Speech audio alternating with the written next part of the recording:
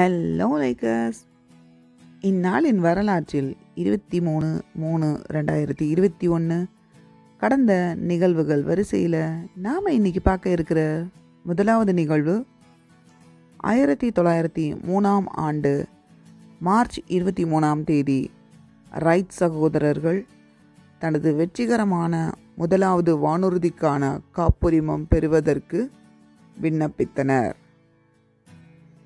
அடுத்து இரண்டாவது நிகழ்வு. ஆயிரத்தி தொள்ளாயிரத்தி முப்பத்தி ஒன்றாம் ஆண்டு மார்ச் இருபத்தி ஒன்றாம் தேதி இந்திய விடுதலை போராட்ட வீரர்களான பகத்சிங் ராஜ்குரு சுகதேவ் ஆகியோர் தூக்கிலிடப்பட்டனர். அடுத்து இந்நாள் பிறந்தவர்கள் வரிசையில் நாம் இன்னைக்கு பார்க்க இருக்கிறவங்க ஜிடி நாயுடு. இந்தியாவின் எடிசன் என்று போற்றப்பட்ட சிறந்த அறிவியல் மேதையும் மகத்தான கண்டுபிடிப்பாளருமான ஜிடி நாயுடு கோபால்சாமி துரைசாமி நாயுடு. ஆயிரத்தி எட்நூற்றி தொண்ணூற்றி மூணாம் ஆண்டு மார்ச் இருபத்தி மூணாம் தேதி கோயம்புத்தூர் மாவட்டம் கலக்கல் கிராமத்தில் பிறந்தார். இவர் அதிகம் படிக்கவில்லை என்றாலும் பல நூல்களை வாங்கி படித்து அறிவை வளர்த்து கொண்டார். இவர் பதினெட்டு வயதில் அமெரிக்காவில் தயாராகும் வலி நிவாரணியை அங்கிருந்து வரவழைத்து இங்கு விற்பனை செய்தார். அதில் லாபம் கிடைக்க நன்றாக கிடைத்தது.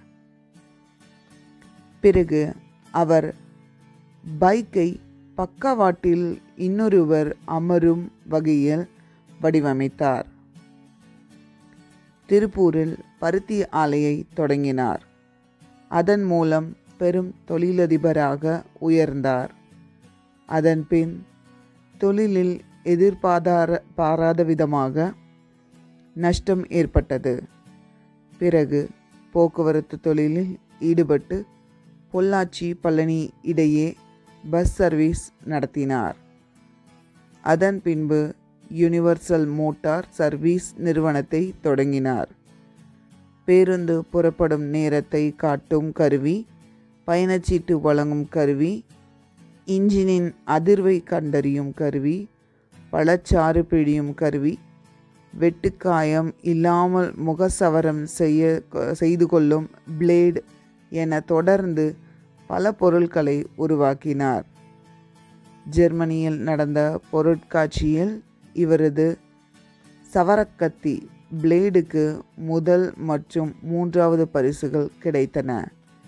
இவற்றை தயாரிக்கும் உரிமையை பல நாடுகள் கேட்டும் மறுத்து இவர் இறுதியாக அமெரிக்க நிறுவனத்திற்கு அந்த உரிமையை கொடுத்துவிட்டார் இவரது தாவர ஆராய்ச்சி முடிவுகள் உலகையே பிரமிக்க வைத்தன. இவரது அதிசய பருத்தி செடிக்கு நாயுடு காட்டன் என பெயரிட்டு ஜெர்மன் கௌரவித்தது.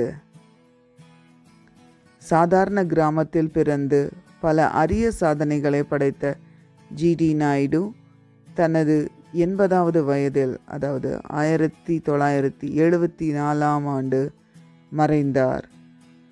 கோவை அவினாசி சாலையில் இவரது கண்டுபிடிப்புகளுடன் கூடிய கண்காட்சி அருங்காட்சியகம் அமைக்கப்பட்டுள்ளது. வாழ்வில் வரலாற்றை வளம் பெற செய்வோம். வாருங்கள்.